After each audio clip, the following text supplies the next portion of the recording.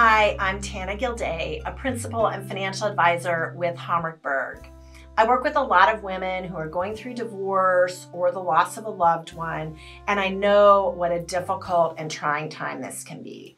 It's often overwhelming dealing with the emotions of the situation, as well as all of the practical administrative matters that come up as you take on this big life change. So I wanted to provide some helpful tips and tricks that have worked for me and my clients in the past as you try to navigate through what may not be an area that's either fun or kind of in your wheelhouse. So I call this breaking it down to build yourself up. And what we want to do as you face these tasks and these processes and the paperwork that goes with the divorce First thing is we want to get everything out of your head. A lot of times it's that banging around of, oh, I can't forget this and I've got to remember that and what about this that kind of makes us crazy. So by getting it out of our heads and down on a piece of paper, we're able to uh, assess it and view it a little bit more objectively and define what needs to be done. But rather than make one long to do list of things that seems really overwhelming, I recommend that you get a good old fashioned notebook and put each item on its own page. Don't use the back. Each one gets a separate page. And then you can flag those things that are the highest priority that you really need to pay attention to from the get go. As you do that, we also want a little mental shift in the language that we use for this. Task has the thought that, oh, this is something quick and easy that I can just knock out.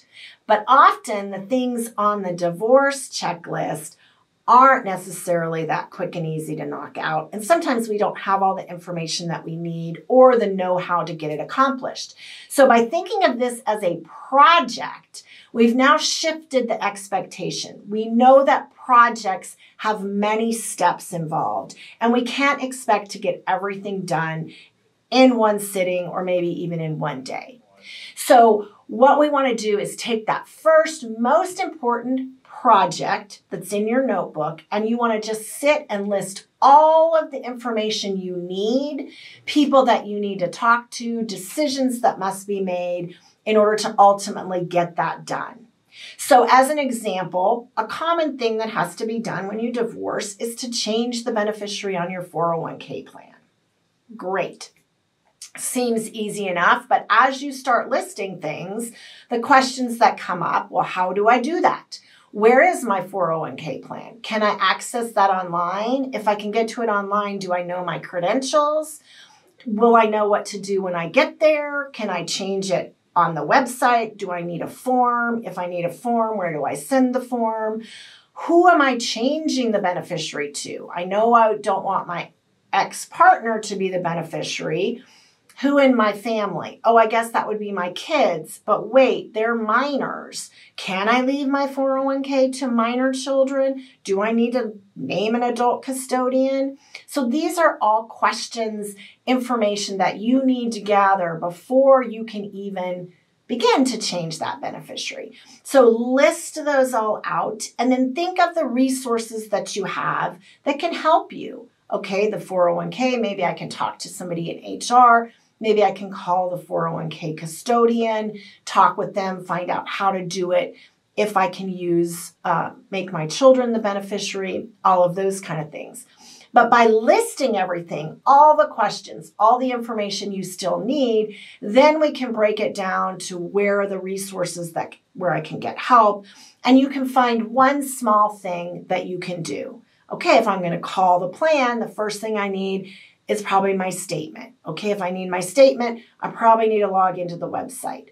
Where can I find the website? I've got 10 minutes. Let me poke around on my work uh, website and see if I can can get my web my uh, URL for the 401k plan and pull that up and get logged in and get a number to call. Maybe I can find a statement. So there's all those things that you can kind of work through and you can keep notes. If you do call somebody, make sure you note the date, the name of the person, what they told you, the information they gave you. And then what is your next step now that you have that information?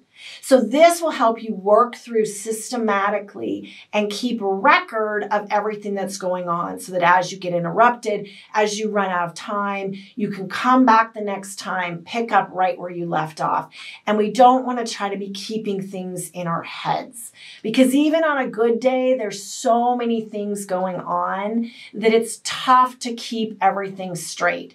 And did I talk to my 401k person or my benefit person or my health insurance insurance person, we don't need to try to keep that straight. It's all going to be in our notebook under each specific project that we're working on. So that helps stay organized, allow you to refer back easily, and ultimately take small baby steps toward completing those various projects that come up.